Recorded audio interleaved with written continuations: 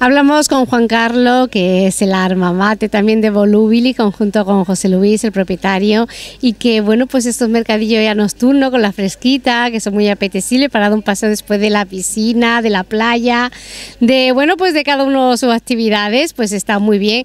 Y bueno, me ha dado mucha alegría poderte entrevistar después de todo lo de la tribu, que ha sido imposible hablar contigo, pero sí que nos hemos visto. ¿Qué tal? Muy bien, ¿y tú? Nosotros encantados de estar aquí. Pues mira cómo estoy yo sudando con todo el montaje de aquí, que están haciendo unos días de calor tremendos.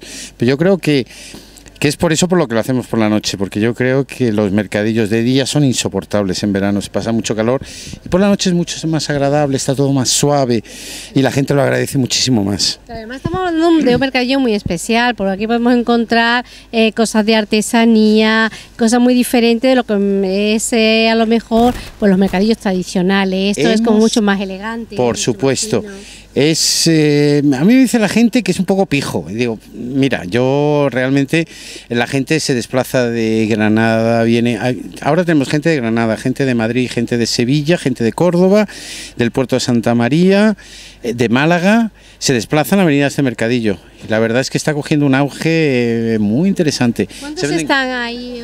ahora mismo tenemos 52 stands que ya es aforo completo para nosotros porque también el espacio es, está muy acotado. Y luego por la noche, lo bonito es por la noche, cuando están todas las luces puestas y está todo y todo en todo el ambiente, eso es la maravilla.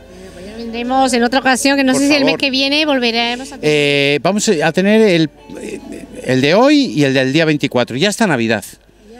Sí, en Navidad ya monto este y ayudo a montar el de la Virginia. También de Navidad, también para los regalitos Por favor, El, de, Navidad es que no se lo puede perder uno. No, y estos son muy divertidos. Llevarlo ¿eh? también, souvenir para cada uno. son súper divertidos. y tal. Viene gente mm, súper divina. Es, por la noche, a partir de las 10 de la noche, es muy divertido, está muy bien. Y además no nos podemos olvidar del arte, que aquí hay mucho arte, muchas obras, muchas cosas bonitas y que es un disfrute, ¿eh? ¿no? Podemos encontrar cosas únicas, piezas.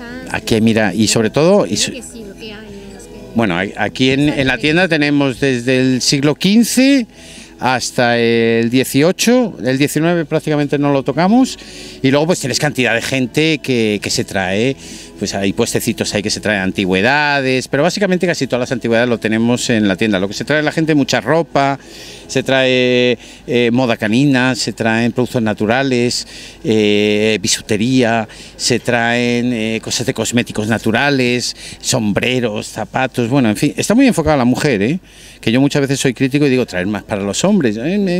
Ahora han traído más cositas, algunas camisas para los hombres y es que las mujeres sois las que compráis, sois las compulsivas en los mercados. me imagino que ha tenido para ti mucha repercusión también en tu vida personal y todo, pues esa trayectoria, ¿no? Por esos países por ahí africanos. mejor eh, eh, eso lo, ¿Mucha repercusión o no? Eso, en tu vida personal. Sí, bueno, sí, bueno, es la experiencia la experiencia a nivel personal. Luego ya la repercusión aquí entre mis amigos, pues eso es otra cosa, ¿me entiendes? Entonces unos critican, los otros se ríen, los otros... Pero no, estuvo muy bien. La verdad es que moverse por estos sitios eh, fue fantástico. Luego ya me gustó menos cómo lo componían todo.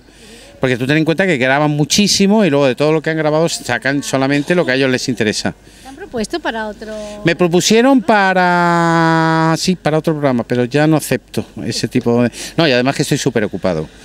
Y eso, ten en cuenta que es... Eh, cuando, cuando estás haciendo un programa de estos es prácticamente a las 24 horas pues estás pendiente de que te van a recoger, de que ahora grabamos aquí y tal, y yo ahora mismo estoy muy enfocado con otros negocios y no puedo con eso. pues espero que me tengas informado porque sabe que te seguimos, ¿eh? pues nada, de verdad, pues felicidades por este mercadillo, festival de arte, como lo queráis llamar, porque es precioso. Gracias, Elena.